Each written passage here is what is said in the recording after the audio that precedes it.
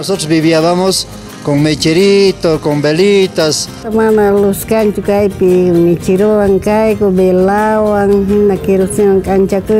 Cuando hay energía eléctrica, se puede hacer muchos emprendimientos. Los nicas tenga arranquilo que total primero pescaconchis.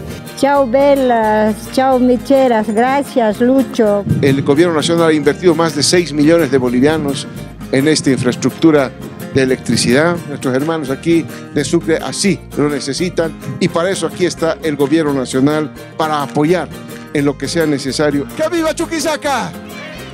Gobierno del Estado Plurinacional de Bolivia.